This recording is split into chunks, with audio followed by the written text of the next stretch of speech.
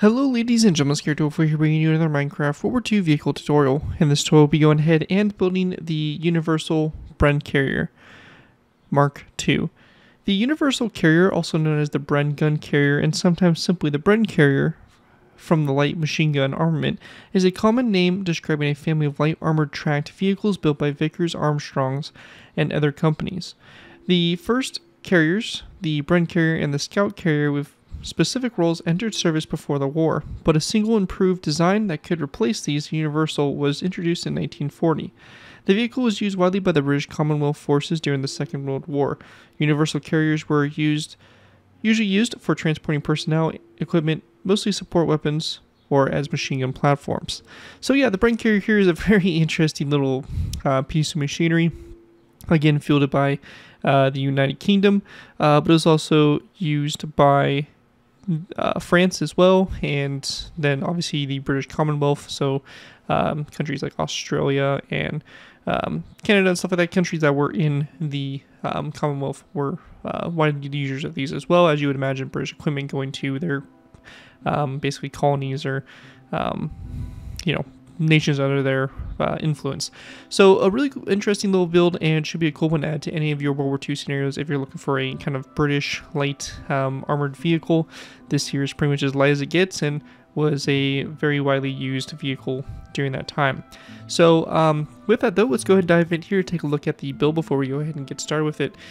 So starting off with, we have the um, vehicle itself. Uh, it is it does have a machine gun mounted here in the front, so you would have a driver and a passenger. Uh, the passenger operating the machine gun. They would sit basically right next to each other, tandem, and um, that is where the operators would operate the vehicle from. Uh, you have some simple details, some radio antennas, um, little spotlight there on the side, and all that stuff. So real simple uh, little details. On the back here is where crew could actually be, or it could be transporter people. Uh, I believe in total four could be transported. This one here does have a mounted uh, Bren machine gun also on it, so it has a little bit of extra firepower. But you could also just copy this right side over to the other side to kind of make this more of just a transport uh, version of the build. But it's a really interesting little build. Should make a cool addition to any of your World War II maps if you're looking for a British Commonwealth type vehicle. But without further ado, let's go ahead and move into our tutorial, beginning with our first layer. Alright guys, so moving into our first uh, layer here, we have layers 0 and 1. For these layers to go ahead and get started with here, we're going to place down a row of nether brick blocks that are going to be in the ground. These here are going to be the start of our tracks. So we're going to go ahead and do a nice solid row of 7 like so. We're going to go and go to each end of the row nether brick, and we're just going to place down a dark oak wood trapdoor like so. On both sides, we're going to place down a weathered waxed copper slab, top slab on both sides.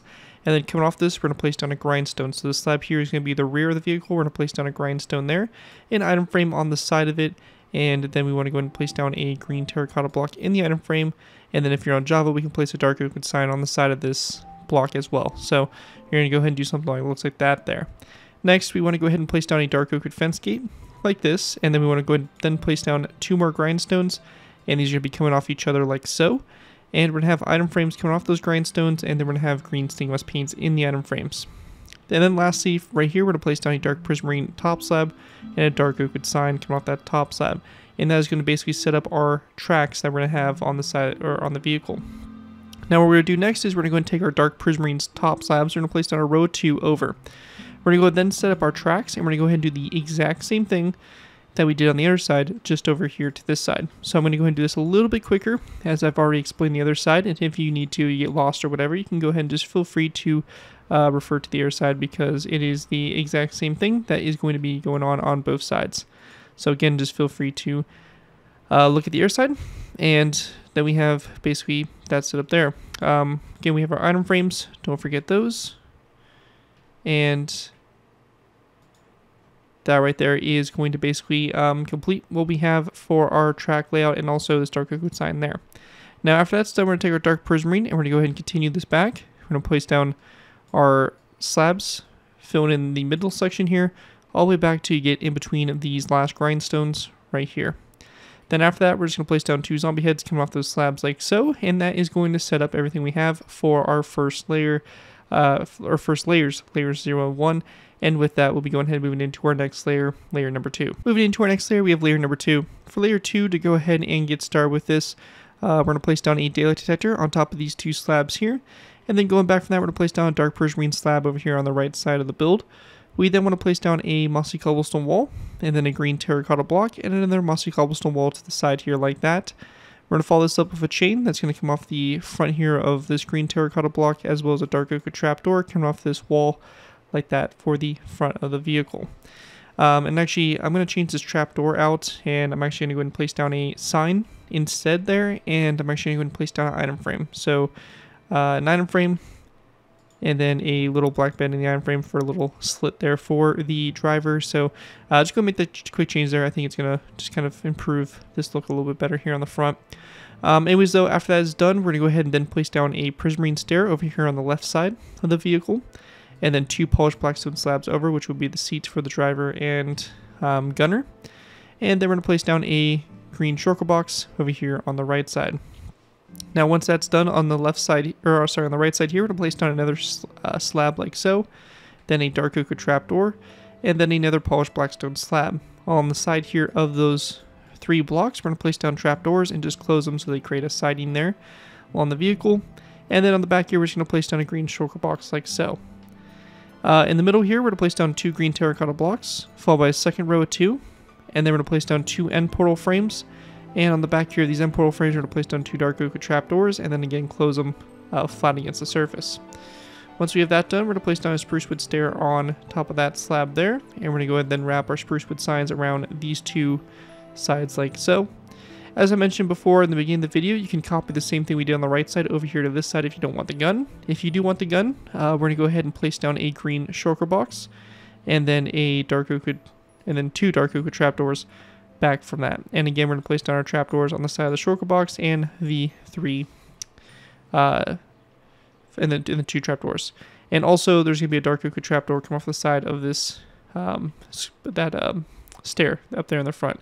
And once you have that set up there, that is what you want to have from the top-down view with this all complete. That's going to conclude layer 2, and we'll move on to our last final layers. Moving into our next layer, we have layer number uh, 3, 4, and 5. For these layers to go ahead and get started with, we're going to go ahead and place down a dark prismarine slab on top of this block here.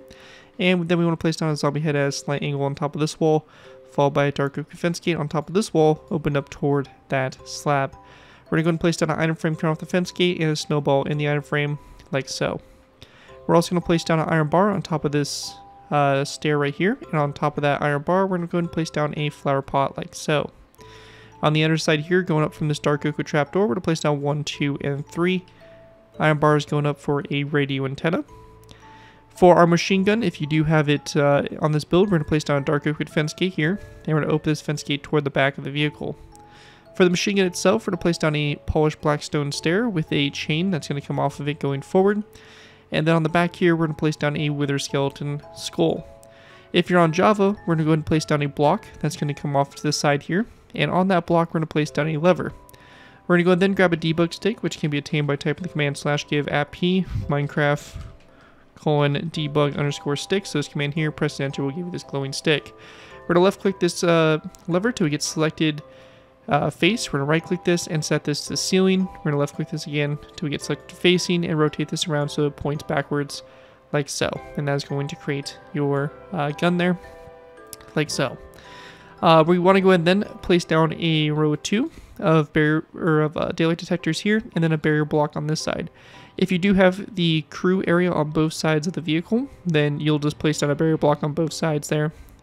And then after we have that done, we're going to take our dark oak signs, and we're just going to place down a row coming off the fence gate, the two daylight detectors, and this barrier block or structure block, uh, whatever you have placed there. Now, once we have that done, we're going to then take our levers. We're going to place down two levers here on those two blocks, followed by a flower pot that's going to go on top of this green shulker box here. And lastly, we're going to go and take our iron bars. We're just going to place down a row of three that go up, and from this uh, end portal frame like that. And once you have that all complete there, that is going to wrap up my design here for the universal uh, Bren Carrier uh, Mark II. If you guys do end up using this design, I do ask that you guys give me proper credit for it. This being from a sign of the build link to my channel or this video if this does appear on social media sites. As long as you guys give me proper credit for the build, you're free to whatever projects you guys are working on. Overall, enjoy the build, have fun with it, and all that fun stuff. Um, and yeah, with that, thank you guys again so much for watching. As always, to like, comment, and subscribe. This has been Garrett2by4, and I will see you guys next time.